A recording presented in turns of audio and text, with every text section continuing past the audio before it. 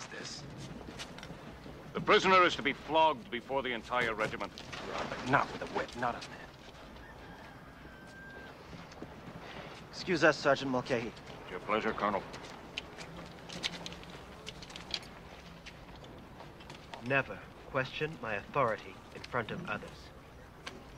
I is sorry, massa. You be the boss man now, and all us chillins must learn Major to... Forbes, stand at attention.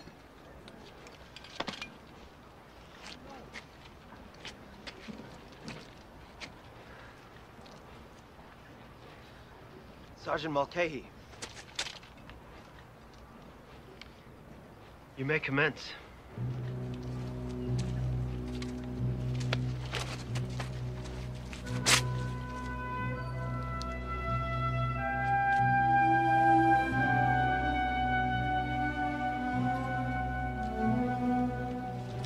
Proceed.